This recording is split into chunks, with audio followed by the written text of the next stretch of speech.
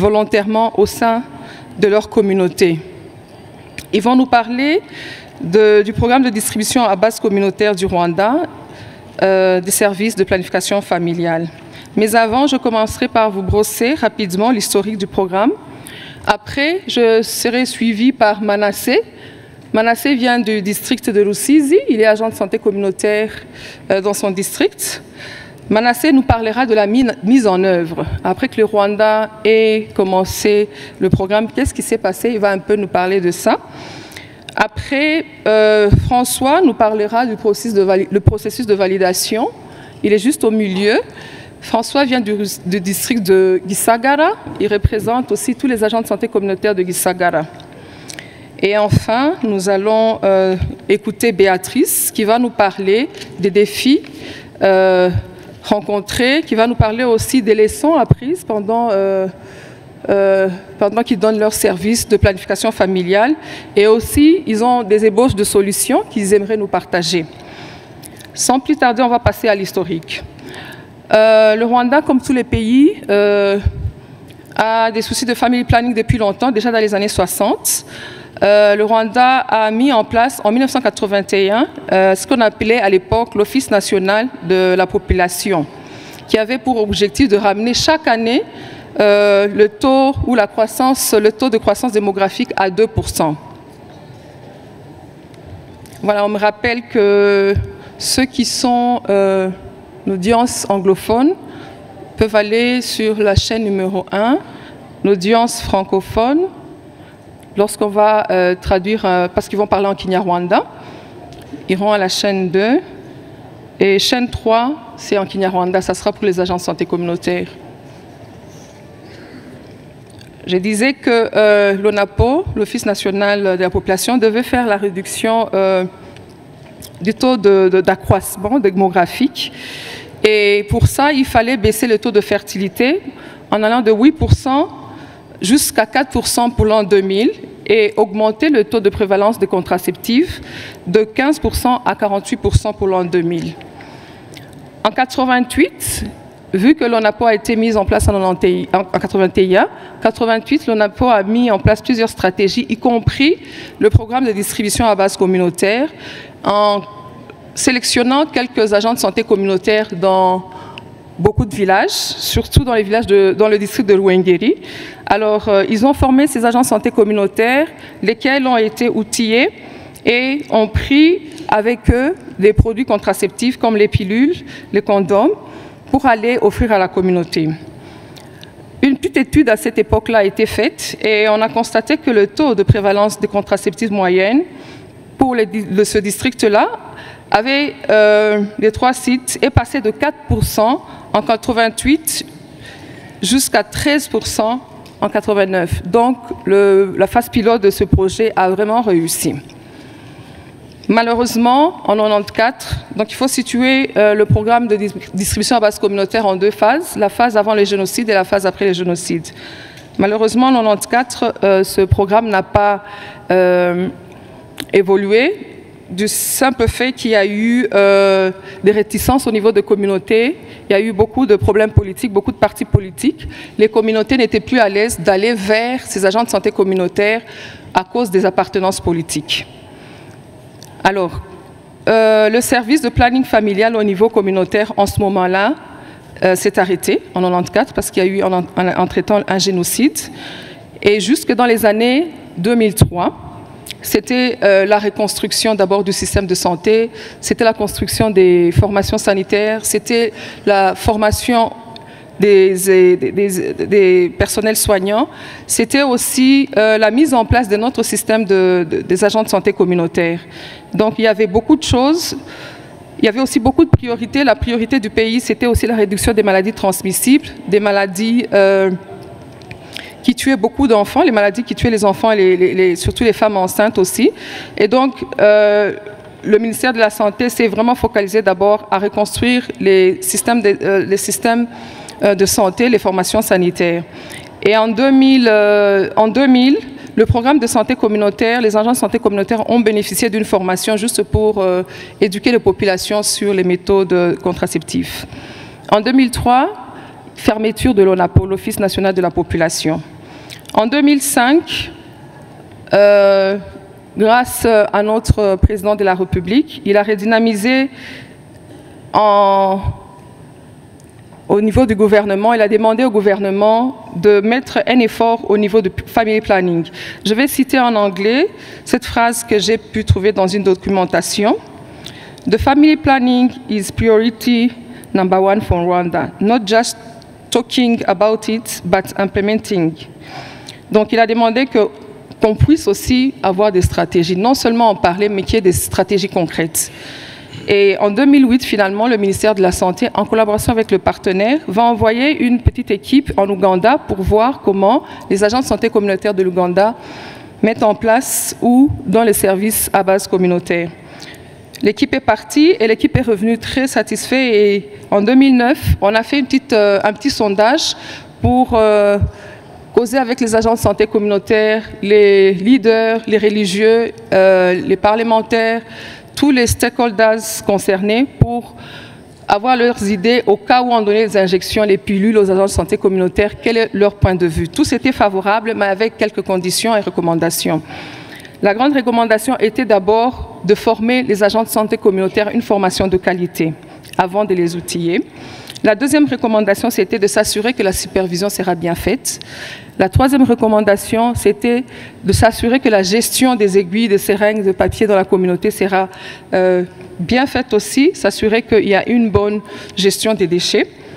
Et la dernière recommandation, c'est de s'assurer que les agents de santé communautaire puissent euh, avoir accès aussi facilement aux produits au niveau du centre de santé.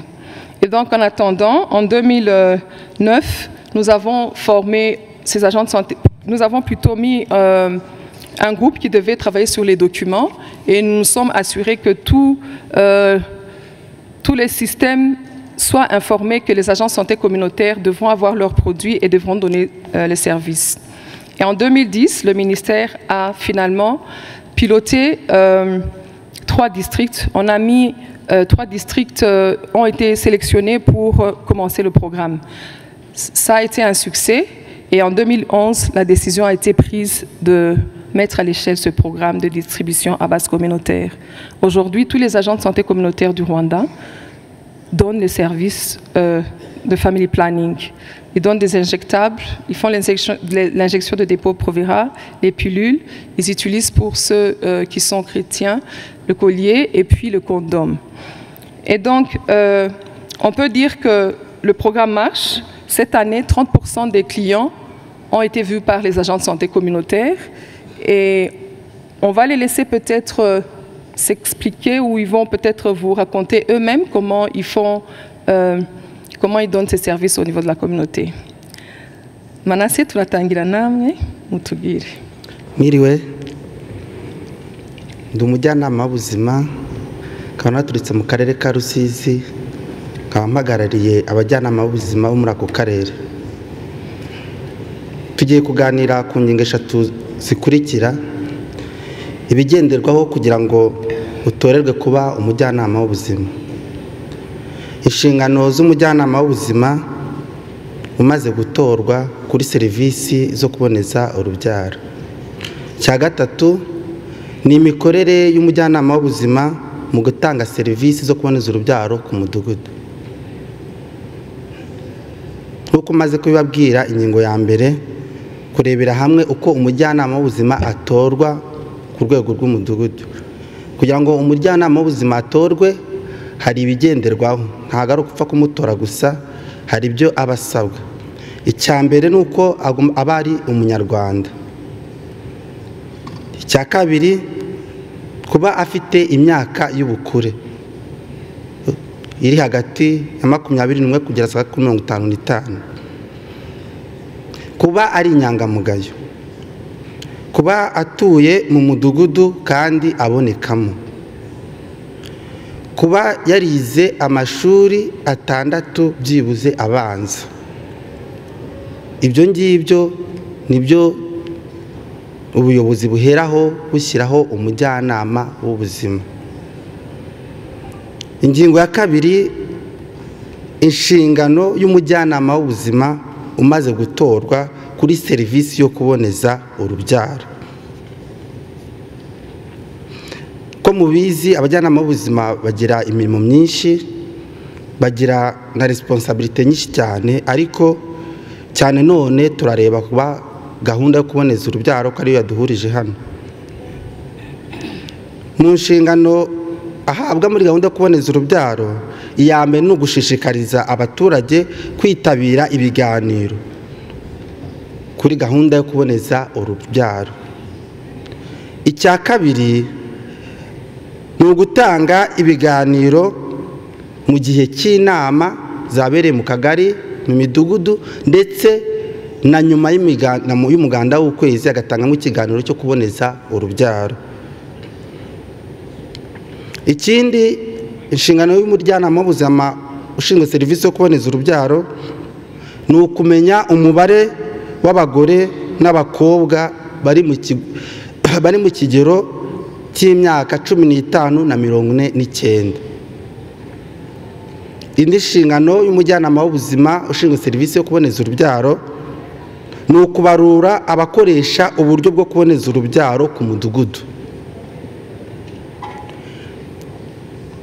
Indi nshingano ni ukohereza ku kigo nderabuzima abakeneye serivisi yo kuboneza urubyaro mu gihe umujyanama w'ubuzima adashoboye kuba yayitanga kuko abajyanama b'ubuzima ntabwo ariko batanga serivisi zose.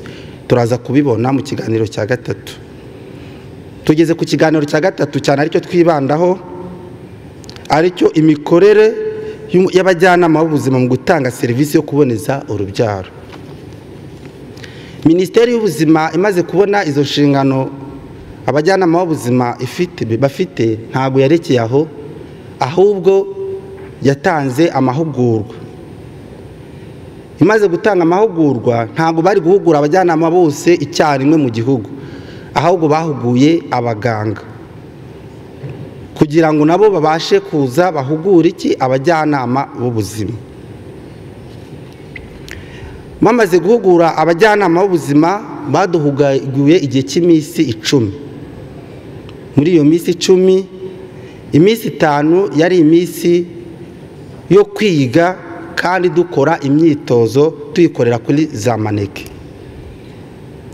Indi minsi itanu twabaga turi ku bigo nderabuzima haza abakiriya turi kumwe n'abaganga baduforomye dutera kandi banareba uburyo turi gutera abaturage.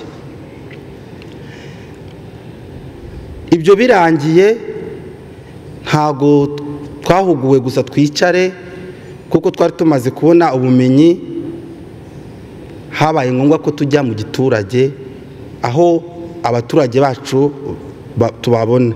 Muri za nshingano handi nababwiye bwa mbere ko tubasanga mu muganda kwezi kwa nyuma icyumweru cya nyuma cy'umuganda tukababona mu nama zitandukanye tukabasanga mu ngo tugakora tukamanuka amadesante tukayakora kugira ngo tubasange n'aho bari twaragiye tujya kubigisha.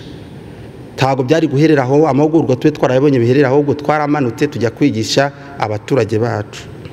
Mu kubigisha rero twigisha abaturage abakiriya bacu kuboneza urubyaro icyo ari cyo. Kugira ngo azaze kugusaba serivisi aje azi icyo aje gusaba icyo ari cyo. Twabigishe ko kuboneza urubyaro ari uburyo umugore n'umugabo uburyo umugore n'umugabo bishyira hamwe bakumvikana umubare w'abana bazabyara ndetse n'igihe bazababyarira. Ariko bashingiye ku bushobozi buhari.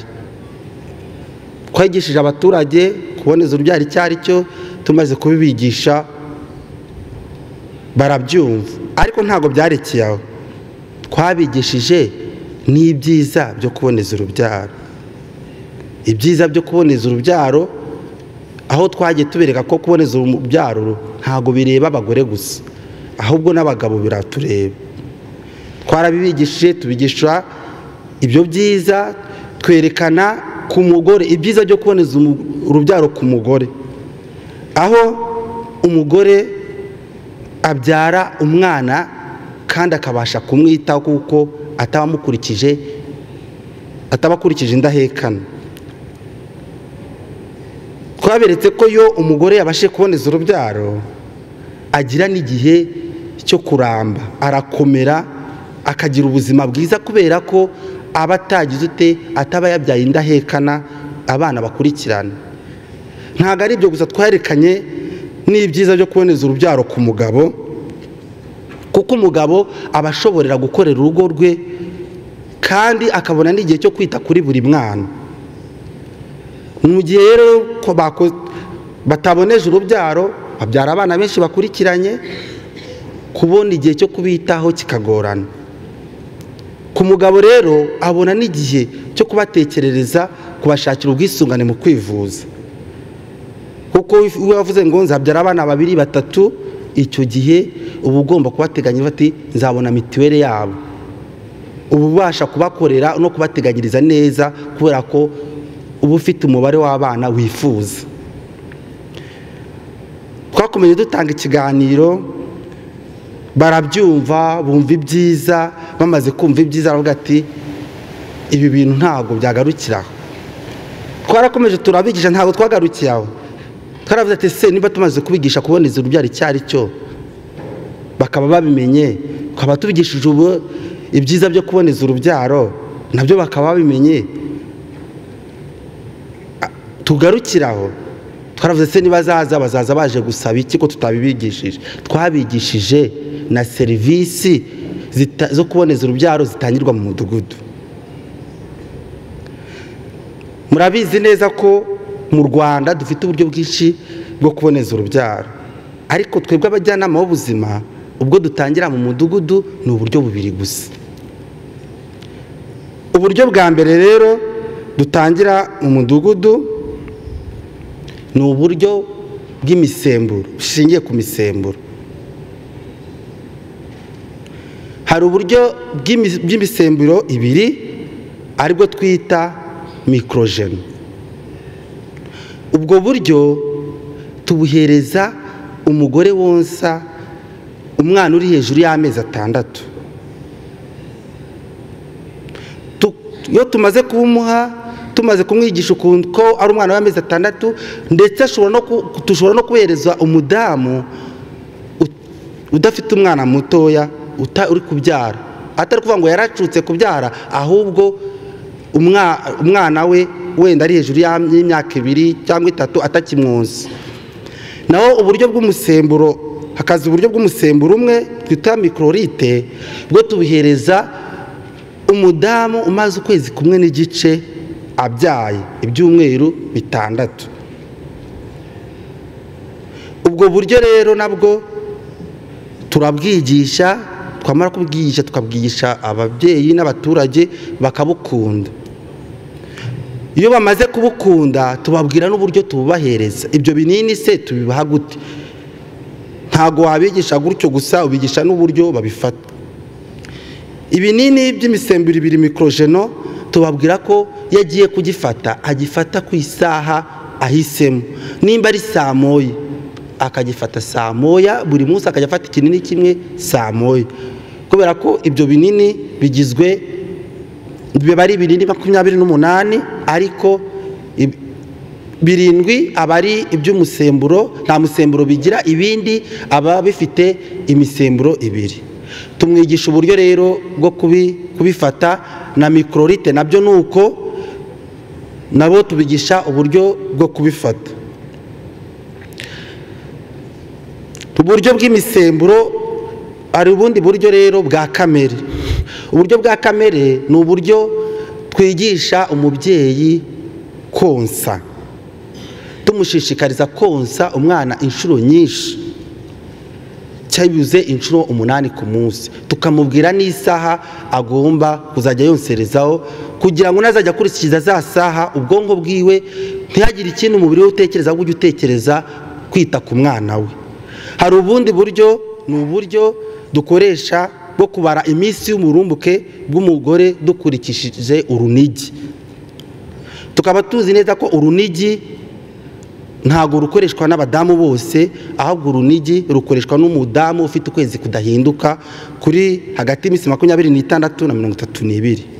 Hakaba ubundi buryo dukoresha uburyo bwo gukumira ihura ry'intangangore n'intangangabo aho dukoresha udukingirizo. Ibyo rero byose tumaze kubisobanurira abaturage abaturage bacu baje batugana. Bamaze kuza batugana araza akakugana bati watanze ikiganiro naracyumvishije narinje gusaba serivisi yaje gusaba serivisi uramuha ikaze ukamuganiriza bisanzwe akabanza agatinyuka. Iyo amaze gutinyuka umubaza ikimugenza. Iyo akubwiye ko aje gusaba serivisi yo kuboneza urubyaro urabanza ukamubaza ubwo yifuza ubwo ari bwo iyo amaze kubukubwira umubaza nimba yari asanzwe aburimo iyo umaze gusanga usanze atarasanzwe aburimo uramwandikira taransiferi ukamwohereza ku kigo nderabuzima kuko abajyanama b'ubuzima ntabwo twemerewe gutangiza serivisi yo kuboneza urubyaro ku rwego rw'umudugudu. Iyo dusanze ubwo buryo yari asanzwe abufata asanzwe abufata tumubaza niba nta kibazo yagize yahuye na cyo kuri ubwo buryo. Iyo dusanze nta kibazo yahuye na cyo kuri ubwo buryo tumusaba agafishi baba kanditseho randevu aba yahawe.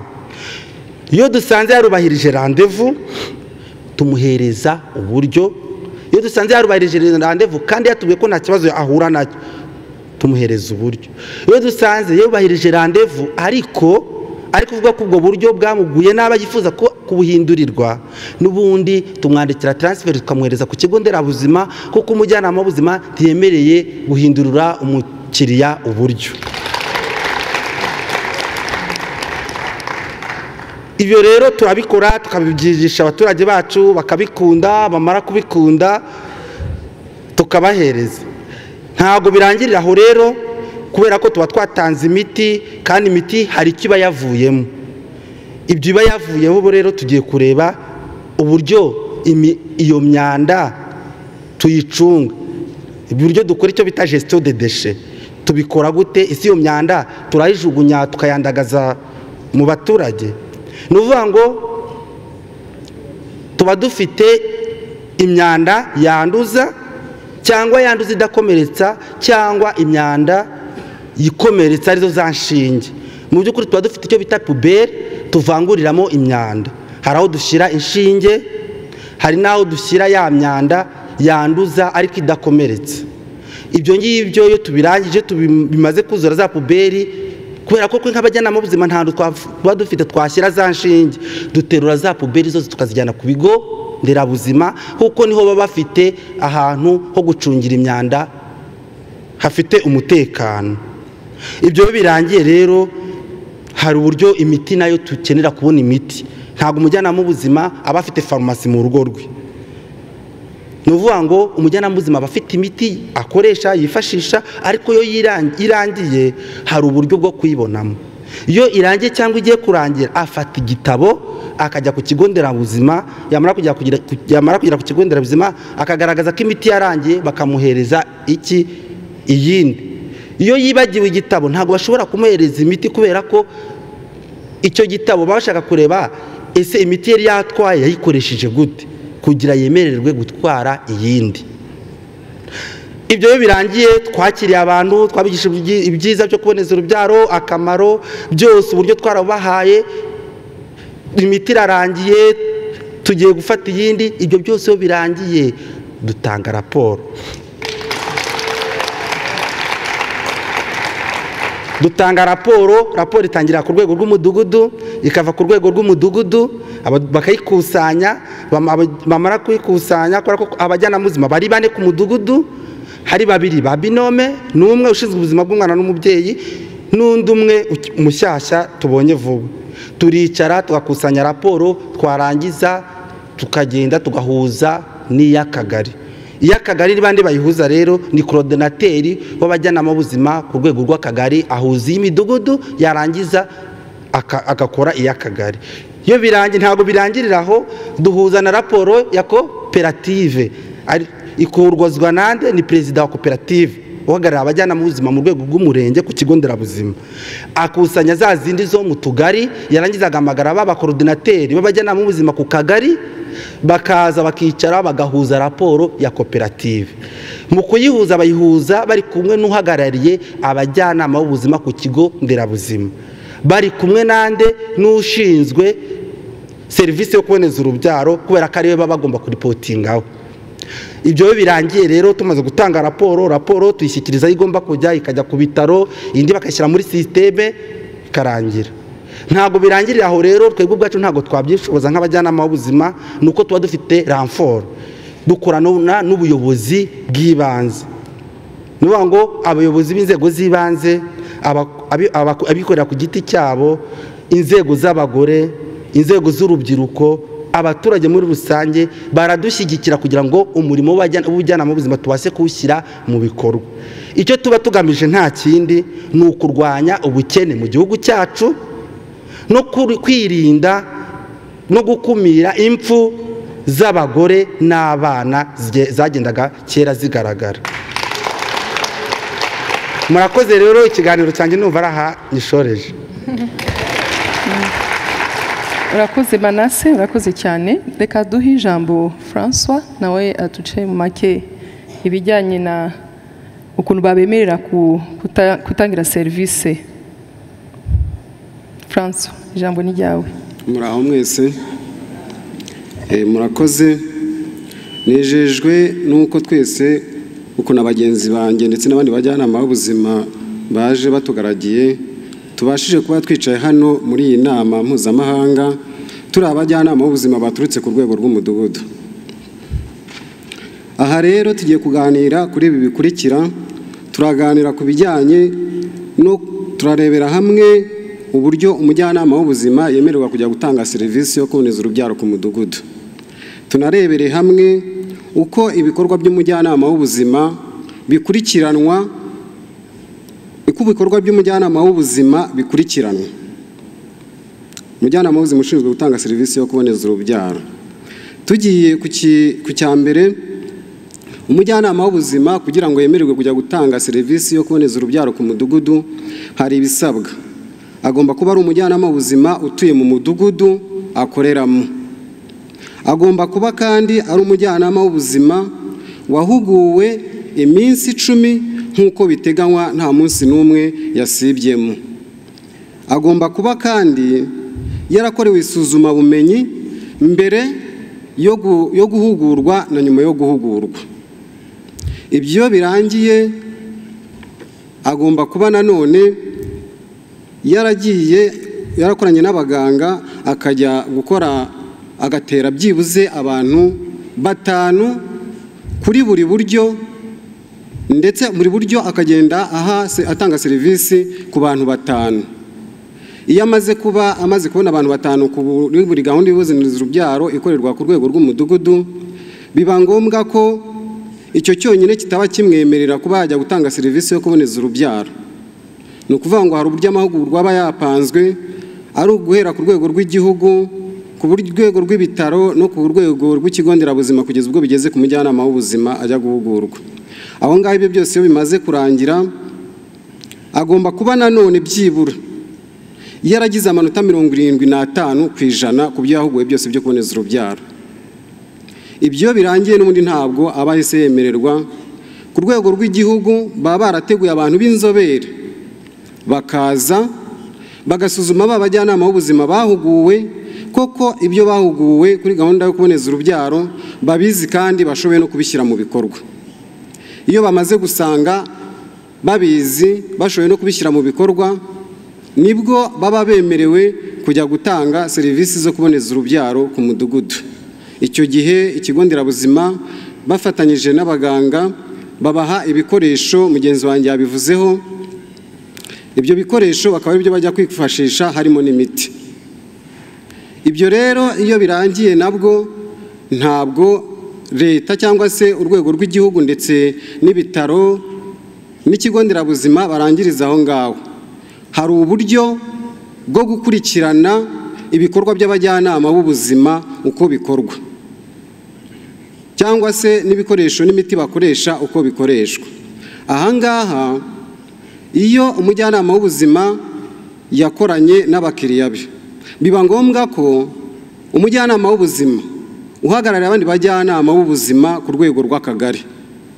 Uwo mujyanama araza akajya mu bajyanama b'ubuzima ahagarariye mu kagari akajya gusuzuma uko bakora ndetse akaza agafata ibitabo akabi- akabirebamo agafata igitabo cyandikwamo abakiriya uba ufite bahabwa serivisi zo kuboneza urubyaro. Yarangiza agafata igitabo wandikamo abahawe serivisi yo kuboneza urubyaro muri iyo minsi. Yarangiza nabwo agafata igitabo cya raporo y'imiti uko ufata imiti n'uko uyikoresha. Aho ngaho icyaba agamije aba agira ngo arebe ese wa mujyanama w'ubuzima koko ushinzwe gahunda yo kuboneza urubyaro? Iki gitabo yanditsemo abakiriya. Arareba abakiriya wahakiriye muri iyo minsi. Yarangiza kureba abakiriya wakiriye muri iyo minsi akareba abakiriya wahaye serivisi yo kuboneza urubyaro. Yarangiza kureba abakiriya wahaye serivisi yo kuboneza urubyaro nabwo agahita ajya kuri cya gitabo ufatiramo imiti akareba imiti wari usanzwe ufite imiti wakoresheje agahita amenya uko ibi- ibikoresho imiti uba urimo kuyikoresha uko bihura n'abakiriya uba wakiriye muri icyo gihe. Ukareba kuri buri buryo bwose bwa gahunda yo kuboneza urubyaro bukoreshwa ku mudugudu. Ibyo birangiye ntabwo birangirira aho ngaho ikigo nderabuzima na cyo. Ushinzwe serivisi yo kuboneza urubyaro ku kigo nderabuzima. Nawe aramanuka agasanga wa bajyanama b'ubuzima. Agasuzuma koko nimba wa mujyanama w'ubuzima uhagarariye abandi kubera ko aba afite inshingano nyinshi. N'ubundi nimubuza yo gukomeza kuba wa mujyanama w'ubuzima akora umurimo w'ubujyanama w'ubuzima akanakora n'uwo murimo. Ntibivuze ko aragenda akareba nimba koko wa mujyanama yabashije kujya kwegera ba bajyanama b'ubuzima bashinzwe gahunda yo kuboneza urubyaro bya bikorwa koko babikoze ibyo gusuzuma ko baba barakoze neza cyangwa se barakoze no mu bitabo akarebamo. Iyo ahageze nawe akwaka ibitabo akareba. Agasuzuma neza koko uko wakoresheje imiti uko wakoresheje ibikoresho byose wakuye ku kigo nderabuzima. Yarangiza amaze kubisuzuma arongera akajya kureba wa mujyanama uhagarariye abandi bajyanama b'ubuzima ku rwego rw'akagari akareba koko niba yarabashije gusuzuma abajyanama bose muri rusange. Iyo asanze hari aho atabashije kugera cyangwa se hari ahabaye akabazo ku bajyanama b'ubuzima yenda ku bijyanye na serivisi kuboneza urubyaro amugira inama cyangwa se umujyanama w'ubuzima nawe basize akugira inama ariko kenshi cyane kubera ko twabihuguye tunabizi ntabwo icyo kibazo tujya dukunda guhura na cyo. Dukomeje rero n'ubundi nawe iyo arangije ibyo ntabwo urwego rw'ibitaro ruhagararira aho ngaho. Uhagarariye abajyanama ndetse ushinzwe serivisi zo kuboneza urubyaro ku rwego rw'ibitaro nawe aramanuka akaza ku kigo nderabuzima akareba ibyo ku kigo nderabuzima bakoze. Cyane ko ku kigo nderabuzima nabo baba bafite aho bakorera serivisi zo kuboneza urubyaro ari bo bano bantu baba batangira guhabwa serivisi zo kuboneza urubyaro. Kuko twebwe abajyanama b'ubuzima ntabwo tuba twemerewe kubatangiza. Nibwo basuzuma ibikorwa baba bakoze barangiza kubisuzuma n'abakiriya bakiriye bakareba ku marandevu aho babahaye amarandevu noneho byaba ngombwa bakareba nabo n'imiti baba bakoresha uko baba babikoze n'imiti baba bahaye abajyanama b'ubuzima. Ibyo birangiye umukozi wo ku bitaro nawe iyo bibaye ngombwa. Asaba wa mujya wa mukozi wo ku kigo nderabuzima uhagarariye ushinzwe serivisi zo kuboneza urubyaro. Bakamanukana ahitamo ahantu yishakiye akamuhitiramo nk'akagari yishakiye cyangwa umudugudu yishakiye. Agahitamo umujyanama w'ubuzima yigira kureba. Bakajyanayo bagasuzuma ibikorwa uko babikoze uko yasuzumye bajyanama bagenzi be.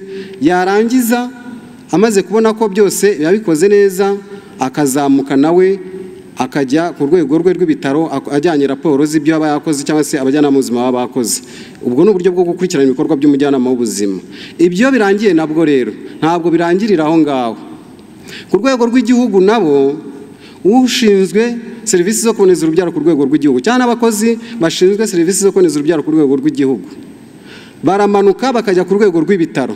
Iyo bageze ku rwego rw'ibitaro naho baragenda bagasuzuma uko ibikorwa byakozwe bijyanye na serivisi zo kuboneza urubyaro ku rwego rw'ibitaro bakagirana ikiganiro n'abashinzwe serivisi zo kuboneza urubyaro ku rwego rw'ibitaro bakareba ibikorwa uko babikoze. Iyo barangije bibaye ngombwa baramanuka bakajya ku kigo nderabuzima bamanukanye n'umukozi wo ku bitaro.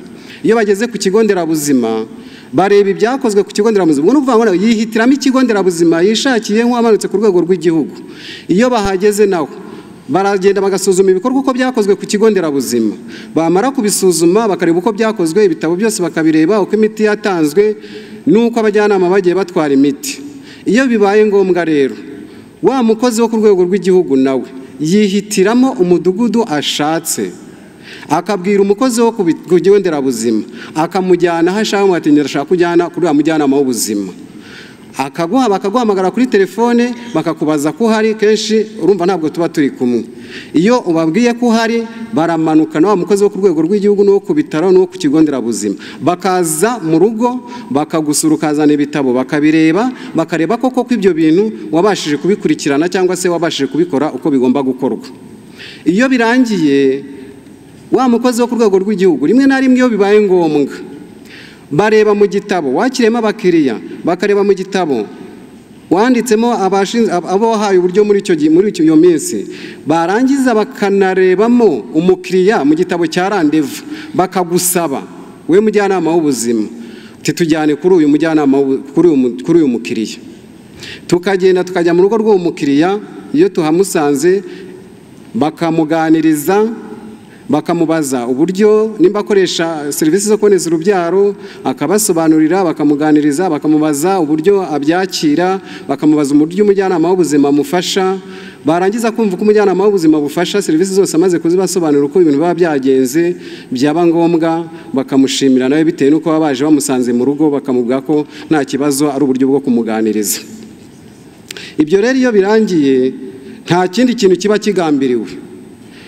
Izo gahunda zose n'uburyo bwo gucunga ibyo byose nta kindi kiba kigambiriwe uretse kureba niba kureba ikibazo ese umujyanama w'ubuzima agira ikihe kibazo mu buryo bwo muri gahunda yo gutanga yo kuboneza urubyaro ku rwego rw'umudugudu? Bakanareba ese umukiriya ni ikihe kibazo ahura na cyo muri gahunda zo kuboneza urubyaro? Icyo gihe ni byo bintu biba bigamijwe. Muri make rero ikiganiro cyanjye ni aha ntigarukirije ndarangiza nshima urwego rw'igihugu ruba rwatekereje ku bajyanama b'ubuzima ari bo baturage bari hari hasi mu midugudu ndetse bakanabasha kuduha imyanya nk'iyi ngiyi mu nama mpuzamahanga kugira ngo tugirane ibiganiro n'abantu bene wacu. Murakoze. Murakoze francois kuduha ikiganiro cyiza. Reka tuhite dukomereza kuri beatrice. Murakoze cyane. Muraho. Nk'uko bagenzi banjye babivuze ngewe tugiye kuganira ku ngingo zigera kuri enye. Ingingo ya mbere tugiye kurebera hamwe uko gahunda yo kuboneza urubyaro yakiriwe mu rwanda. Iya kabiri eh, turareba uko abaturage mbese uko byagenze uko babyakiriye. Tugiye kureba nanone imbogamizi na zo turaziganiraho turebe agahimbazamusyi turebe n'icyakorwa kugira ngo gahunda zacu zigende neza. Eh, nk'uko twabivuze nyine eh, mu rwanda rwacu gahunda yo kuboneza urubyaro abaturage bayakiriye neza. Twarabaganirije barabyumva barabikunda. Hari icyatumye babikunda cyane eh, icyabanejeje cyane ni uko uburyo bakoresha cyangwa se uburyo bahabwa babuhabwa n'umujyanama w'ubuzima baturanye babonana umunsi ku wundi kandi ubwo buryo bakoresha bakabubona bitabagoye. Ni muri urwo rwego eh, mu gihugu cyacu cy'u rwanda abaturage bagera ku bihumbi magana ane na bakoresha uburyo bwo kuboneza urubyaro kandi ku rwego rw'umudugudu. Eh, mu karere kacu ka kicukiro ariko naje mpagarariye nk'umujyanama w'ubuzima abagera ku bihumbi bitandatu bakoresha ubwo buryo kandi bakabukoresha ku rwego rw'umudugudu bitabagoye. Mu mudugudu wanjye ntuyemo aho nkorera eh, hari abaturage nkurikirana umunsi ku wundi nk'ubwo buryo ijana na mirongo itanu na bane. Hari ibyiza rero hari igituma tubikunda kubikora nk'abajyanama b'ubuzima. Abajyanama b'ubuzima dukunda cyane gukora iyo gahunda yacu nk'uko twayihuguwe bagenzi banjye babivuze icya mbere turabakorerabushake batowe n'abaturage tubikora tubikunze kandi. Icya kabiri leta y'u rwanda n'abafatanyabikorwa bajya bakora byinshi. Bajya bakora byinshi kugira ngo gahunda yo kuboneza urubyaro ku rwego rw'umudugudu ishinga imizi ni muri urwo rwego leta y'u rwanda yashyizeho amakoperative y'abajyanama b'ubuzima. Abajyanama b'ubuzima dufite amakoperative tubamo. Ibyo bikorwa dukora umunsi ku wundi tujya tubihererwa agahimbazamusyi ariko pbf kandi iyo pbf inyura muri ya makoperative yacu. Hari ikindi leta y'u rwanda ijya idukorera ijya iduha amahugurwa ikaduha n'ibikoresho byo gukora iyo mirimo yacu umunsi ku wundi. Ibyo na byo bikadufasha cyane kandi bikatunezeza. Ku rwego rw'umudugudu rero twebwe nk'abajyanama b'ubuzima gahunda dukora dukorera abaturage yo kuboneza urubyaro biratunezeza kuko bituma tugira inshuti nyinshi. Baradukunda bakatwiyumvamo bakatugirira icyizere bakatwubaha bakanaduha n'agaciro.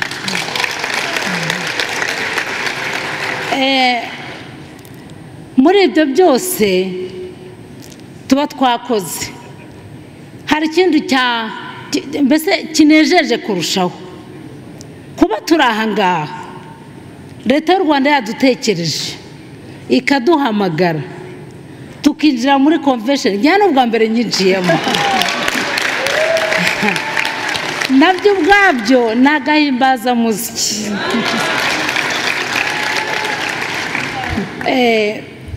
ngira ngo ibyo dukora umunsi ku wundi biratunezeza nyine ni na yo mpamvu mbona twishimye. Tugeze wenda ku kuganira cyangwa se kureba ku birebana n'imbogamizi tujya duhura na zo. Nubwo bimeze bityo haracyariho inzitizi.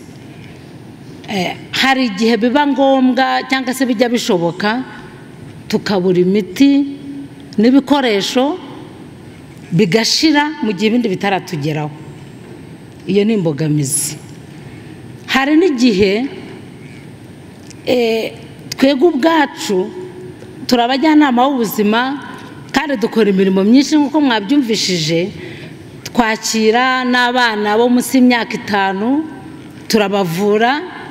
Za ndwara nyine zikomatanyije harimo umusonga impiswi ndetse na malariya. Tuvura abantu bakuru hari igihe abakiriya bacu batugonganiraho. Bakaza bakadusanga aho turi hakaba hato kandi uburyo bwo kuboneza urubyaro ibyo dukora byose mu birebana n'ubuzima ni ibanga tukabura uko tubafasha. Iyo ni imbogamizi. Hari indi mbogamizi tujya tugira tujya tugira imbogamizi y'umwanya muto. Kwita ku by'ubuzima cyane kuko dufite kuko dufite imirimo myinshi hanyuma gukorera n'ingo zacu na byo bikatugora. Bikatugora ibyo na byo biri mu mbogamizi. Hari indi mbogamizi tujya duhura na yo rimwe na rimwe cyangwa se hamwe na hamwe gukorana n'ibigo by'abihaye imana. Uburyo bwo gukora ubwo buryo bwo kuboneza urubyaro biragorana. Bishobora kugorana mu buryo bwo kubona ibikoresho gutanga amaraporo bikaruhanya. Hari indi mbogamizi hari uturere tumwe tutarabona abaterankunga bo gutera inkunga icyo gikorwa cyo kuboneza urubyaro ku rwego rw'umudugudu. Ariko twumva hari icyakorwa. Twumva hari icyakorwa twumva leta yacu y'u rwanda yakomeza gushishikariza abafatanyabikorwa bacu gutera inkunga gahunda yo kuboneza urubyaro ku rwego rw'umudugudu. Hari ikindi twumva cyakorwa gushakira abajyanama b'ubuzima bakora ubwo buryo bwo kuboneza urubyaro ibikoresho bihagije birebana n'iyo gahunda. Eh, hari ikindi twumva cyakorwa. Muri ubwo buryo eh, ko ababishinzwe inzego zose zifatanyije kwegera cyane abajyanama b'ubuzima bakorera gahunda yo kuboneza urubyaro ku rwego rw'umudugudu.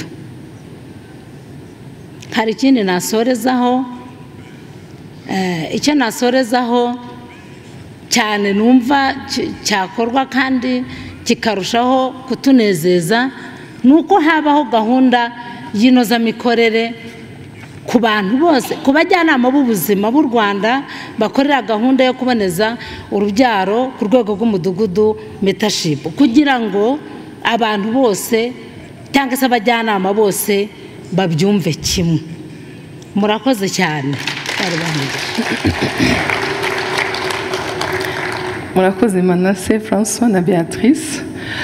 Euh, euh, je suis toujours impressionnée quand les agents de santé communautaires parlent.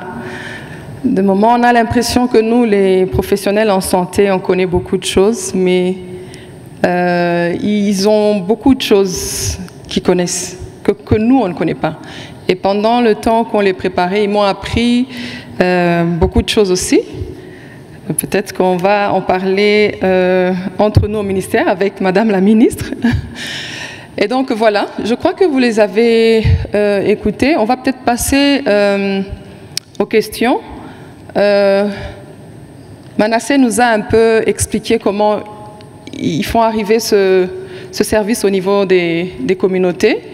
Et François nous a expliqué brièvement comment est-ce qu'ils doivent être validés avant de commencer à offrir ce service.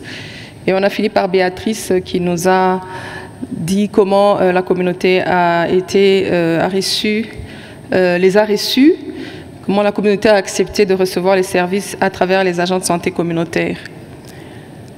Et nous a aussi euh, donné quelques défis et des solutions. Ils ont toujours des solutions, donc euh, je crois que la séance est ouverte pour les questions. S'il y a des questions, on va en prendre pas plus de trois. Même si on est dans le bon temps, mais on voudrait finir un peu plus tôt. Madame, vous allez vous présenter, dire euh, votre nom, votre affiliation, et euh, on espère que c'est une question claire et brève. Merci beaucoup pour la question. Je m'appelle Mamie Alphonsine Kassai. Je suis coordinatrice de formation à DKT. Je viens de la République démocratique du Congo.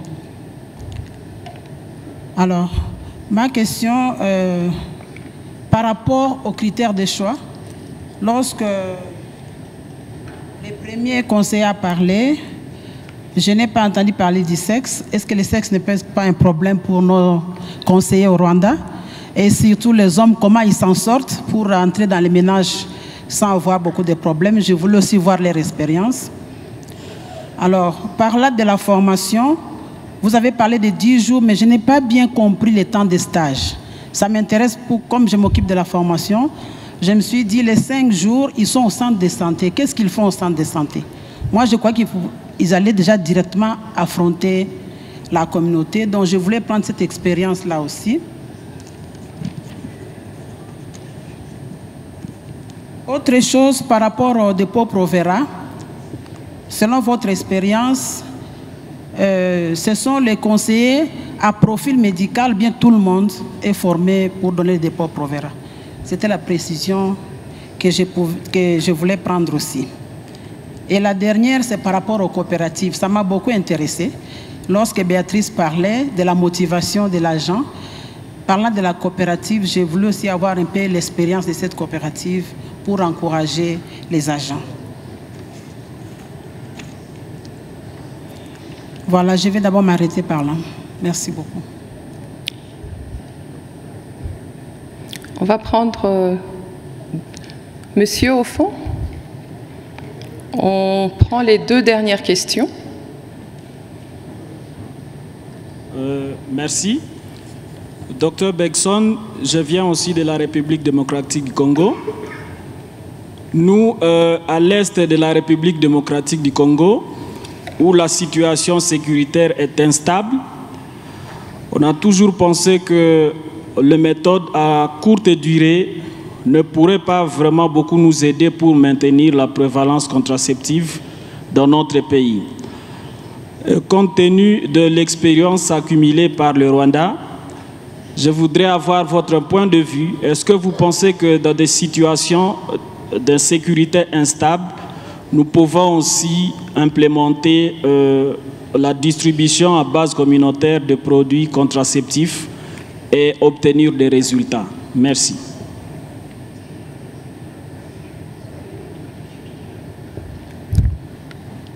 On prend madame. euh, Peut-être qu'on va les. OK. Ok, merci. Euh, je suis Anita Kouvaré, je viens du Togo, où je suis chargée du projet de distribution à base communautaire. Nous avons également des ASC chez nous qui distribuent le dépôt Provera et cette année, nous sommes passés au Sayana Press également. Ce que j'aimerais savoir, c'est est-ce que ce projet est déjà, c'est un projet ou bien c'est déjà au niveau échelle dans le pays? La motivation, ma sœur a dit que ce sont les collectivités qui prennent en charge cette motivation. Est-ce qu'elle est identique dans toutes les communautés ou bien chaque communauté a la latitude de choisir la, la motivation qu'elle veut mettre au niveau de l'ASC Et quelle est la contribution réelle du ministère de la Santé par rapport à cette motivation? Si c'est à l'état de projet, que compte faire Rwanda pour que ça soit à échelle Merci beaucoup.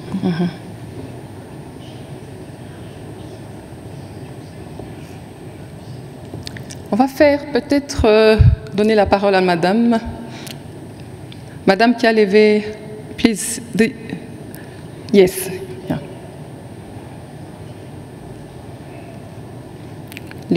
Essayons de voir, peut-être c'est une anglophone, donc euh, on va bien repartir les questions anglophones, francophones. Go ahead, please. English. Yes. Thank you. My name is Hilary Schwant, and I come from the USA. I'm a university professor. I have a couple of questions. Uh, I'm under the impression that the community health worker program in Rwanda is more successful than in other nations, and I wonder if you can speak to why that might be. And one um, idea I have is the way community health workers in Rwanda are selected by their community members. So if you could explain more about how that works, how the voting process works, and how long community health workers serve in their community, and whether that's different from other nations.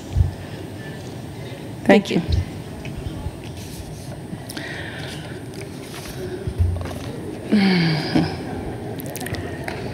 Il y a une autre question. Je ne veux pas refuser à mon ancien professeur Paulin. Non, ce n'est pas une question, Ah, c'était d'accord. juste un petit commentaire. Euh, je m'appelle Paulin Basinga, je gère la- le bureau de la fondation Gates au Nigeria. Je suis du Rwanda. Je voulais juste dire que je suis super impressionné parce que souvent, nous, les bailleurs de fonds, les implementers, euh, les chercheurs, quand on va dans un panel, on a toujours des talking points. On a réfléchi sur ce qu'on va dire et tout. C'est parmi les rares panels où on voit des gens qui sont dans les front line, qui travaillent et qui partent de leur cœur, connaissent leurs points cœur par cœur. C'est vraiment impressionnant.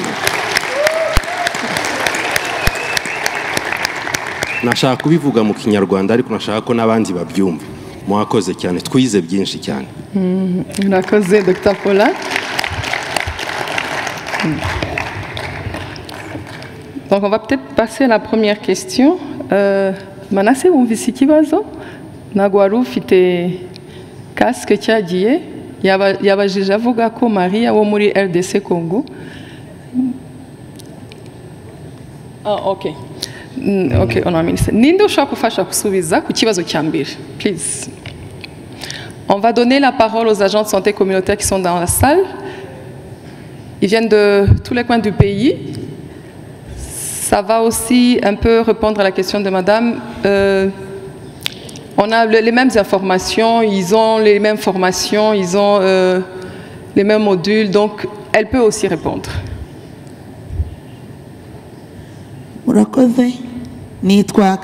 bernardine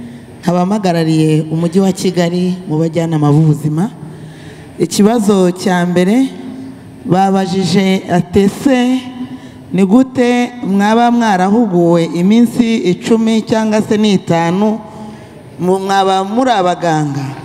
Mu by'ukuri nk'uko yari akibajije ndabanza musubize ntituri abaganga by'ukuri.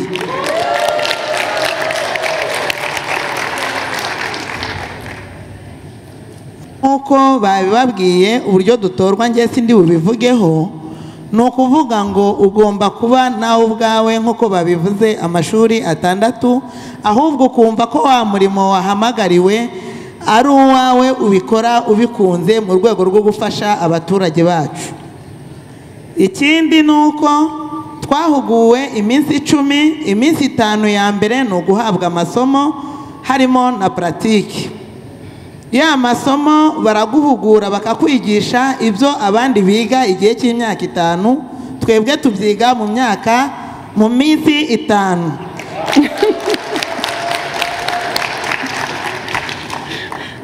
Ya minsi itanu iyo dukoze puratike mwumvishije ko harimo n'ikizami cyo gutangira kigerageza.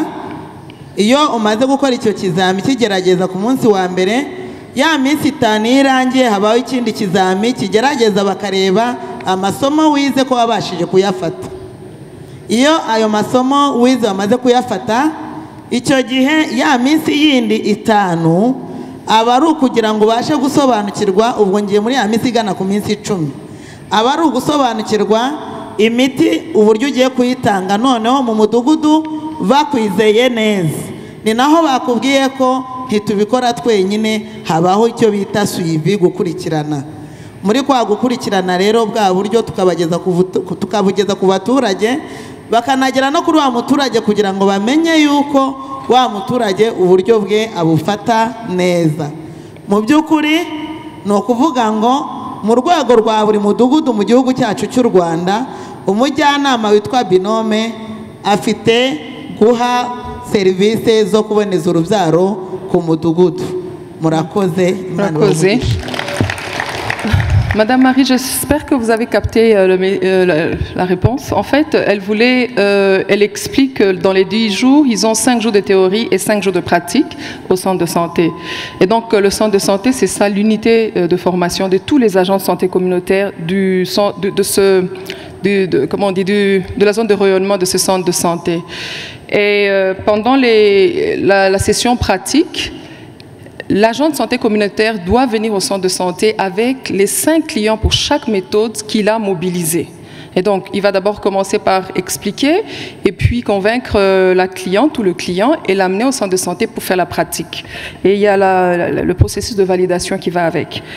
Et euh, autre chose que, j'aimerais compléter à ce qu'elle a dit, hein, nous avons ce qu'on a le groupe de binôme, le binôme couple homme-femme. Nous avons, euh, ça, fait deux, déjà, nous avons l'animatrice de santé maternelle, une femme, et nous avons un qui a été élu cette année au mois d'août, qui vient renforcer les trois qui existent depuis toujours au niveau euh, des villages. Et donc les quatre vont servir les communautés, mais les trois premiers que j'ai cités sont déjà là depuis longtemps, depuis euh, après le génocide. Ça veut dire que quand vous prenez le quatre euh, agents de santé communautaire, la majorité, c'est des femmes. Et moi, j'ai toujours dit que ce programme marche. euh, L'impact des agents de santé communautaire sur nos indicateurs de santé, c'est grâce au nombre de femmes que nous avons dans ce programme. Donc, on va les applaudir. Ça, répond un peu euh, au panel euh, précédent. Donc, l'implication des femmes est très importante. La grande partie, plus de 70%, sont des femmes. Et euh, pour la motivation, euh, je, vais peut-être laisser un autre agent de santé communautaire. Moi, c'est qui qui a coopérative Yali Abajije. Arumu Ashokuki Subiza, président. On a, le temps qu'il est le micro, dans chaque district, on a un représentant des agents de santé communautaire par district. Et au niveau national, nous avons le secrétariat des agents de santé communautaire qui a un bureau. Enfin, des gens qui, qui, qui, qui font tourner ce qu'on appelle l'umbrella des agents de santé communautaire, et c'est lui le monsieur, monsieur le président. On n'a pas que... on n'a pas que des présidents et des présidents, mais on a aussi un président agent de santé communautaire. yavuze koperative murakoze cyane nitwa maxime ngarambe nkaba nkomoka mu karere ka kayonza nkaba ndi umuhuzabikorwa wa amburera ku rwego rw'igihugu bagenzi banjye bagira icyizere barantora murakoze cyane. Nanjye ndabanza gushimira nka bagenzi banjye ah, kubona uyu mwanya mwiza wo kugera muri iki cyicaro. Duturuka mu ntara zitandukanye ariko kugera muri convention center nk'umujyanama w'ubuzima icyo turaza kugishimira guverinoma y'u rwanda ndetse na minisitiri w'ubuzima ku kise mwatugiriye bari baje ku kibazo cya koperative turishima twebwe nk'abajyanama b'ubuzima twese uko mutubona duteraniye aha ngaha ku midugudu twese turakora kandi dukora neza. Kandi ibyo dukora tubikora umurava.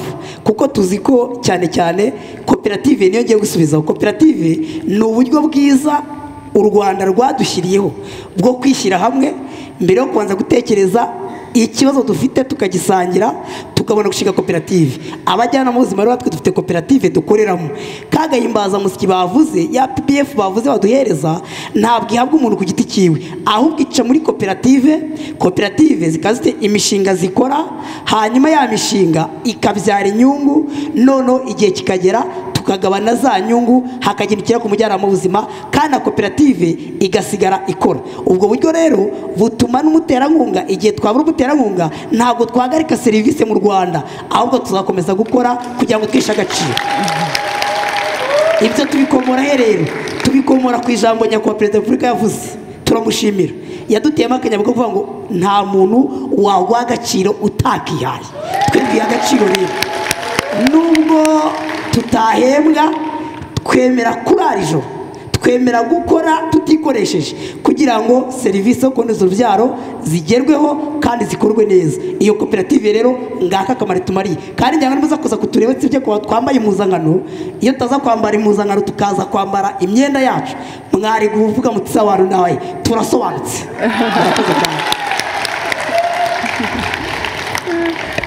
Urakoze Maxime cyane. Euh, voilà, je crois qu'il a expliqué. Madame, c'est des coopératives génératrices de revenus. Euh, ils sont dans plusieurs domaines. Ils sont au nombre de plus de 500 parce qu'on compte euh, au moins 500 centres de santé dans, le, dans le pays. Et donc, chaque coopérative est identifiée par rapport au centre de santé. Et donc, c'est une politique du pays de promouvoir tout ce qui est activité des génératrices de revenus. C'est pour ça que le ministère de la Santé a dit du moment qu'ils ne sont pas payés, on n'a pas de salaire, on n'a pas le moyen, on va les encadrer dans les coopératives. Et donc c'est ça que Béatrice disait, euh, on, a- besoin de plus de connaissances pour gérer nos coopératives. Et donc on a mis aussi, comment je dire, on a mis aussi des agences qui peuvent les aider à, à, faire fonctionner les coopératives dans le management, l'audit, la comptabilité, euh, chercher le marché des produits qu'ils ont. Il y en a qui ont des buildings, euh, pas comme le convention évidemment, des, buildings en étage, et ils font louer des chambres, je peux dire des chambres, à ceux qui voudront faire du business. Donc c'est vraiment un, domaine très vaste, complexe aussi, mais si vous avez plus besoin d'informations, on peut échanger à la sortie. Ça peut répondre directement à, la question euh, de Monsieur Edson. Je, suis très mal placée pour, répondre euh, à la question du point de vue sécuritaire au Congo. Moi, je pense que c'est vrai, vous avez raison. Le, programme communautaire, le modèle dépend d'un pays à un autre, dépend d'une réalité, à, la réalité d'un pays à un autre. On ne peut pas avoir des modèles euh, copie, si je peux dire copy-paste, un modèle complet. On prend le modèle du Rwanda, on va transposer euh, dans un autre pays.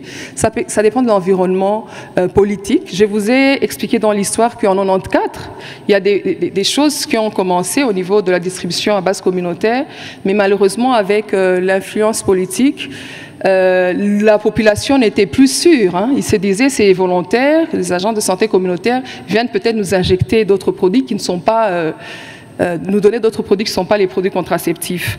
Donc c'est un peu compliqué. Euh, je, pense que c'est une question des politiciens, peut-être les ministres pourront répondre. Mais je pense que si l'environnement et euh, le, climat est bon, l'environnement est bon, il y a une bonne structure. Ce qui a fait le succès du Rwanda, c'est parce qu'il y a une grande structure de coordination. C'est pas le niveau central seulement, les districts, les centres de santé. Et il y a aussi le, les, les, institutions euh, administratives qui sont avec les agents de santé communautaire. Évidemment, il y a aussi la bonne gouvernance. Tout ça fait que euh, le programme marche très bien. Je vais directement répondre à Madame euh, Anne qui a demandé euh, si le projet est en phase pilote. Il a été en phase pilote en 2010. Aujourd'hui, on est en 2018. Tous les villages au Rwanda qui ont les agents de santé communautaire donnent les produits contraceptifs. Ça veut dire la pilule, les injectables, le collier et les condoms, tous. Et on est en train de continuer à former les autres parce que la demande devient grande et on espère que ça va euh, augmenter la prévalence des contraceptifs du Rwanda. Et la motivation, elle est... Euh, ce que vous devez savoir, nous n'avons pas, par exemple, euh, tout est coordonné au niveau du, du, niveau central, au niveau du ministère. C'est pas comme dans les autres pays, peut-être où vous voyez qu'il y a une ONG qui donne la motivation, peut-être à avec d'autres indicateurs ou alors euh, une ONG euh, qui, suit le paiement basé, euh, le paiement, le financement basé sur la performance. Et donc, nous avons une unité au niveau du ministère qui a dans la base des données tous les noms des agents de santé communautaire, qui a le montant qu'il faut allouer chaque mois. Et nous regardons les indices par performance individuelle. Hein. Donc, chaque agent de santé communautaire ici doit travailler et en fonction de ces résultats, on paye. Donc il y a les indicateurs et l'unité, euh, euh, le coût unitaire qui après va nous calculer la somme que l'agent de santé communautaire doit recevoir directement sur le compte bancaire de la coopérative. Le comité va sortir la liste avec le montant de chaque euh, agent de santé communautaire. Ceux qui n'ont pas travaillé ce mois-là ou ce trimestre-là vont encore une fois se remettre au travail. Et donc, c'est vraiment un modèle national et nous regardons, les indicateurs varient selon euh, le besoin. Par exemple, en ce moment, on est vraiment, ils sont polyvalents. Hein? En ce moment, on est vraiment sur la nutrition, euh, euh, augmenter, par exemple, le comment on dit, l'accouchement au centre de santé, ça dépend aussi. Le gouvernement donne une grande partie de, du financement par rapport au Global Fund qui donne aussi euh, le financement de, PBF. Le Global Fund donne une grande partie, évidemment, plus de, plus de 80%, je dirais. Je n'ai pas les chiffres en tête, je m'excuse, c'est le, le, Global Fund. Et les autres 20%, c'est le gouvernement. Nous n'avons que deux, euh, deux gros euh, bailleurs, enfin, je vais dire un bailleur et le gouvernement. Et ce qu'il faut noter, chaque district reçoit un montant pour payer le PBF des agents de santé communautaire. C'est le district, c'est vraiment un budget qui est décentralisé. Et donc c'est le maire avec euh, tout le personnel de santé, le staff qui travaille au niveau de l'hôpital et du district qui s'asseye et qui, euh, qui, qui, nous envoie en fait les données dans le système pour qu'on le calcule et on donne le signal qu'ils peuvent payer. Voilà, la dernière question. Euh, je pense que la dernière question, elle, sera très longue à répondre. Peut-être qu'on peut se voir avec euh, notre collègue de l'USAID à l'extérieur, parce que le temps n'est pas vraiment de notre côté. Il ne reste que cinq minutes. Il faut dire que les agents de santé communautaire, euh, c'est un programme qui existe juste après le génocide. Ils sont élus par la communauté elle-même.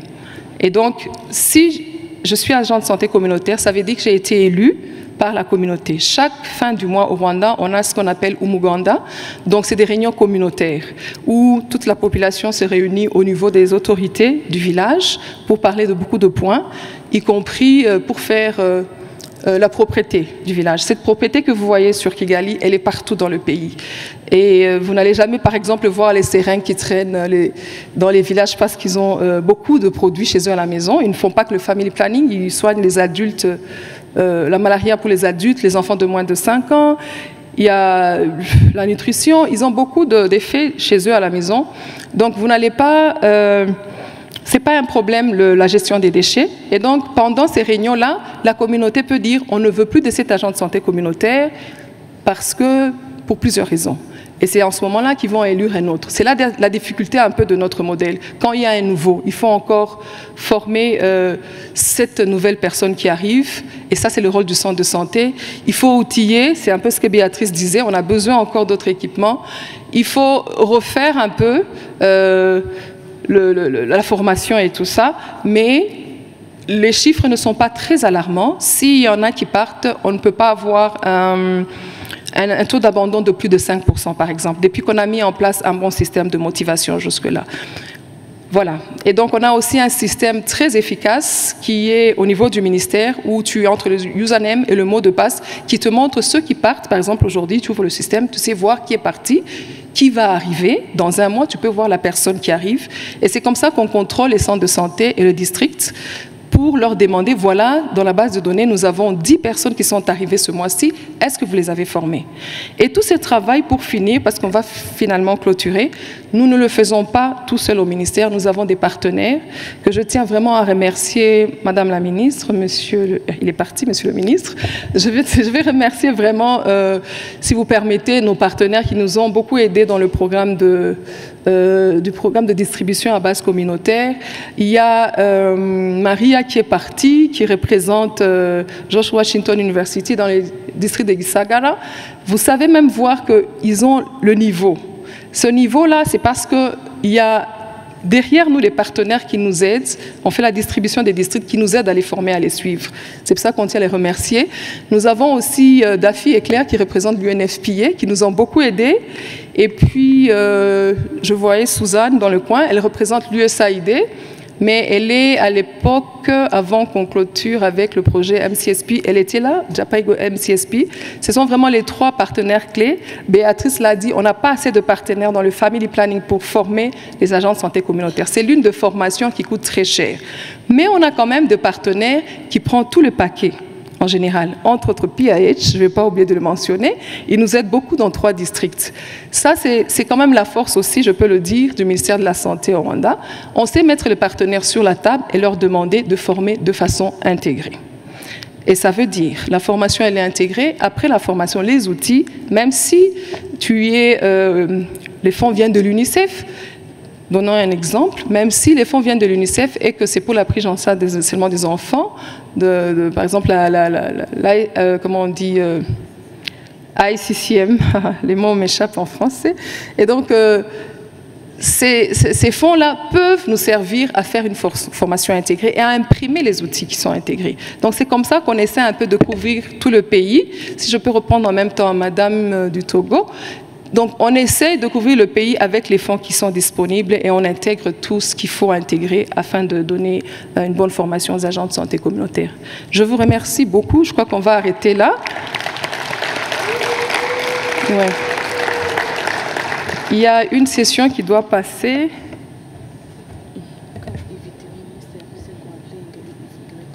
Ah. On vous invite à regarder la vidéo qui va passer tout à l'heure. Madame la ministre vous invite à, à- visionner avec nous. Soyez patient pour quelques minutes. Merci beaucoup et c'était un honneur de, de nous écouter, pour, euh, surtout pour les agents de santé communautaire. Merci beaucoup.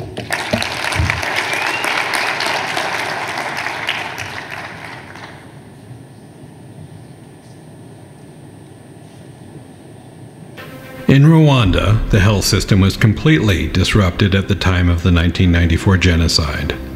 Much of the infrastructure, equipment, personnel, and the healthcare system itself was destroyed. In February 1995, the government issued a new policy to guide the rebuilding of the health system. This has led to the stable and evolving health system that the country has today. Traditionally, having children has been a source of pride and respect in Rwanda. However, the result is that it's among the most densely populated countries in Africa. We have to achieve both national and international objectives in controlling our population growth. The government of Rwanda, through the Ministry of Health, has made many efforts to ease access to family planning for all Rwandans. Now, all services related to family planning are accessible at the community level. We have different methods of family planning in Rwanda. All the methods are available, and um, we make sure that we provide the needed information to the entire population through community campaigns, through uh, radio programs, and other gathering. kuva mu mwaka wa bibiri na cumi na gatatu gahunda yo kuboneza urubyaro mu karere ka rwamagana yitabirwaga ku kigero cya mirongo itanu n'ibice bitandatu ku ijana. Hari byinshi rero byagiye bikorwa ku buryo ubu ngubu mu mwaka wa bibiri na cumi n'umunani ibipimo by'ukwezi kwa karindwi k'uyu mwaka tugeze ku gipimo cya mirongo itandatu n'ibice bine ku ijana. Habayeho kwigisha abashefu b'amaserivisi uburyo bwo kuboneza urubyaro ab'amaserivisi atandukanye yiyongera kuri serivisi ya materiniti habaho kubasobanurira uburyo bunyuranye bwo kuboneza urubyaro umubyeyi cyangwa se undi muntu wese ashobora guhabwa bwiyongereye ku zindi serivisi yaje agana. Hari na gahunda y'umwihariko dushyira mu bikorwa ijyanye no kubonereza urubyaro ababishaka nyuma yo kubyara. Iyo twita postpartum family planning mu ndimi z'amahanga. Ubwo ababyeyi bakunze cyane guhitamo ni aka gapira k'imyaka itatu kitwa empurano kugeza ubu ngubu niwo mubare munini dufite w'ababyeyi bahitamo gukoresha ubu buryo hanyuma hari n'abahitamo aka gapira k'imyaka itanu kitwa jaderi muri serivisi zose dushyiramo serivisi yo kuboneza urubyaro. Aho umudamu cyangwa umugabo aho umuryango waba uje nko kwivuza ugasobanurirwa serivisi yayihafatira. Iyo umuntu ahageze tukamwigisha tumushyira mu gitabo tukamwandika nyuma y'ukwezi tugakora raporo. Raporo yanjye rero kubera ko hano ari mu bihaye imana ijya kuri santere do sante ya busanza tukayikora ikanazamuka igahita ijyana muri minisante The Ministry of Health has introduced the use of ELMIS, the Electronic Logistics Management Information System. With this system, all district pharmacies can follow up the family planning services within the district to get the supplies they need. iyo rero ni sisiteme iri webu bezidi ku buryo tubasha gukurikirana ibikorwa byose mu mavuriro. Twicaye hano mu biro iwacu icyo dusaba gusa ni ukugira interineti konegishoni farumasi y'akarere ibasha kumenya ibyo yaduhaye n'uburyo twabihaye abarwayi bacu. Hanyuma natwe iyo tugiye rero gusaba iyo miti yo kuboneza urubyaro n'ibindi bijyanye nayo farumasi y'akarere ibasha kumenya koko ibyo tuba twarakoresheje Rwanda has created youth centers and youth corners, which, among other services, act as reproduction and education hubs. One goal is to protect adolescent girls from risk of pregnancy and childbirth related health complications. iki kigo gifite uruhare rukomeye cyane mu kwirinda inda zitifujwe cyangwa se inda z'imburagihe ku bangavu kuko dutanga ubujyanama ku bijyanye n'ubuzima bw'imyororokere. Batwigishije gukoresha agakingirizo no kubara igihe cy'uburumbuke tukigezemo tukamenya uko twitwara. Iyo umuntu w'urubyiruko yamaze kumenya uko ubuzima bw'imyororokere bwe bukora abasha no kugira uburyo bwo kwirinda ndetse tukaba dufasha urubyiruko mu gutanga uburyo bumwe na bumwe bwo kuboneza urubyaro. Hari abahitamo gukoresha ibinini hari n'abahitamo gukoresha uburyo bw'inshinge. Ubwo buryo bwose rero tukaba tubutanga hano mu kigo cy'urubyiruko. Ni ukuvuga ngo serivisi yo kubashishikariza kurwanya inda zitifujwe kubapima kuboneza urubyaro ihohoterwa uwakoreye ihohoterwa agahita aza ariko tukagira n'icyo bita integration. Mu zindi serivisi z'ikigo nderabuzima. Hari abo twabonye akaza ariko ugasanga afite n'ikibazo urugero afite sexual transmission diseases. Urumva birasaba yuko tumwakira ariko akajya no muri laboratwari agakoresha ibizamini. Ku buryo ashobora kubona serivisi zose y'ikigo nderabuzima. Ikindi kandi mbona ko bibafasha mu ibanga ni uko urubyiruko rurisanzura. Nta bantu bakuru baba bahari ngo basange wenda ababyeyi babo nabo baje mu zindi serivisi zitandukanye nko kwa muganga akaba ari cyo bakundira kuko iyo aje aha ntawumenya ngo agiye gufata uburyo bumubuza gusama ashobora kuza aje kwidagadura ashobora kuza aje kwiga umwuga kandi na ya serivisi akayibona kandi akayibona mu buryo bwihuse The healthcare system in Rwanda is built from the community level up. It is a people centered policy where there are community health programs at the household level led by community health workers. Today we have 58,298 community health workers. These community health workers are mainly focusing on health promotion, prevention of uh, diseases, but they can also treat some specific diseases like malaria. They can diagnose malaria, they can treat malaria, they can treat pneumonia and diarrhea. But they also provide family planning because they provide pills and uh, injectables. tujya gutangira iyi gahunda babanje kuduhugura ubwo noneho mu kugira ngo wenda tutazakora ibintu bitajyanye na gahunda ikigo nderabuzima kijya gitegura amahugurwa ku kuboneza urubyaro rimwe na rimwe bakaduhamagara bakongera bakatwibutsa uburyo dukoramo mu kuboneza urubyaro. Nta kintu cyagendaga mu rugo. Twari dufite ubukene ubukene buhagije koko. Ntabwo nabashaga gukora bishoboka. Umugabo yakoraga wenyine. Kubera tuba mu nzu dukodesha tukabura amafaranga yo kwishyura inzu ugasanga byabaye rwaserera ariko aho mariye gufata iya mbere mboneza urubyaro twateye imbere. Ni ukuvuga ngo mbasha gukora nkagira icyo nzana nawe yakora bikagira umumaro. Ubwo mbese byambereye byiza cyane. Hari imyumvire y'uko gahunda zo kuboneza urubyaro ari gahunda z'abagore. Abagabo rero nabo ni imbogamizi dufite ikomeye cyane. Ntabwo mu by'ukuri imyumvire y'uko nabo bagira uruhare muri gahunda zo kuboneza urubyaro irabajyamo. Abantu benshi ntabwo baba basobanuriwe kuboneza urubyaro. Umwe avuga ati njya kuboneza urubyaro ndarwara ibibyimba. Cyane cyane abantu b'abanyamadini bakunda kugira ibihuha nk'ibyo ariko tuhozaho ni uguhozaho inyigisho tubigisha tubibasobanurira Rwanda is a country with a vision, and it is growing and developing rapidly. However, in parallel with this development, we need to invest much more in family planning so that everyone benefits from it. To make a better Rwanda for our children, visit your local health clinic to learn more about the choices you have.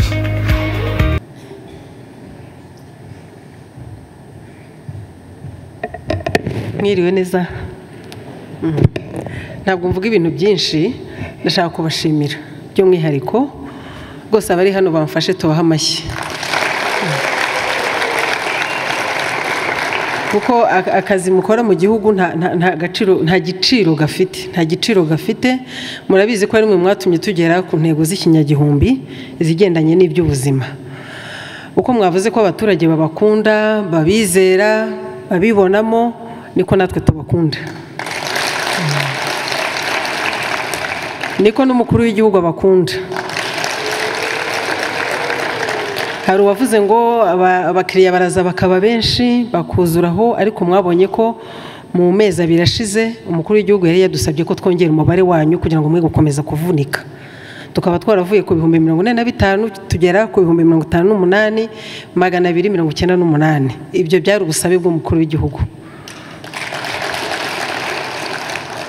Ikindi eh, tubizeza ni ugukora uko dushoboye ku buryo akazi kanyu kagenda neza hari ibyo mwavuze by'imiti ijya ishira buriya haba habaye kurangara. Ku nzego nyinshi ari ugomba kuvuga ko imiti igiye gushira akabivuga mbere y'igihe ari uwabibwiye ari aho imiti irangurirwa ibyo byose ni ibintu tugomba gukosora kugira ngo hatagira umujyanama w'ubuzima ubura eh, ubura ibikoresho. Iki abandi nshaka gushima cyane ni kati felix n'abayobozi ba rbc bahababera babareberera bahaguruka nabo tukabashimira. Ishami ryo muri rbc ri- rikorana n'abajyanama b'ubuzima ni abantu babitangira babakunda rwose no mu kazi kabo biragaragara. Abandi nshaka nanjye gushimira ni abafatanyabikorwa bacu ba- ba- batuba hafi kugira ngo eh, ibyo guverinoma y'u rwanda iba yakoze nabo bashyiremo imbaraga zabo. Ikindi mbizeza ni uko turimo kwiga uburyo twakongera ah, twa imibereho yanyu yaba myiza kurushaho. Kuko hari hari tike moderateri abaturage bishyira mu mudugudu. Sibyo? Ntimubizi turimo kwiga dufatanyije na rbc na minecofin uburyo iyo tike moderateri yaba yakwiyongera ku gahimbazamusyi kanyu Eh, kandi bizashoboka. Tugashyiraho amarusi mukajya muvura abarwayi mugatanga rusi tukamenya amafaranga yinjiye ayo mafaranga akabafasha kubaho. Icyo ni ikintu turimo gukora na rbc na minicofin kandi kizihuta. Ikindi nashakaga gusozerezaho ni ukubasaba gukomeza kwitanga tukazagera no kuri za ntego zindi za sdgs kandi sinshidikanya ko tuzazigeraho. Nagira ngo rero mfate uyu mwanya mbereke n'umushyitsi watugendereye minisita wavuye muri angola waje mu gicuku ariko agahitamo kuza kumva iki kiganiro. Yitwa come come my sister come here. She's called uh, sylvia lutukuta minister of health from angola a good friend of rwanda. She came this evening very late in the evening but she wanted to follow this uh, session because she has ha- she has heard about community health workers and she's very willing to interact with all of you. Arashaka gutwara iyi porogaramu mu gihugu cye ndagira ngo muhe iminota ibiri abasuhuze. Please greet our community workers. Good afternoon. it was a big surprise from my sister, um, our Ministry of Health of Rwanda, Madame Diane, Honorable Minister. It's a pleasure to be here and to share with you um, your experience in family planning.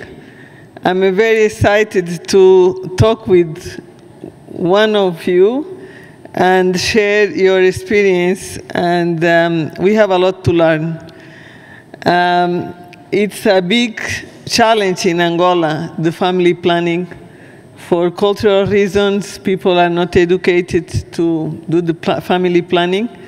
And we know that is, um, if we don't have an effective family planning, we uh, have a lot of uh, high mortality of mother's mortality and the child's.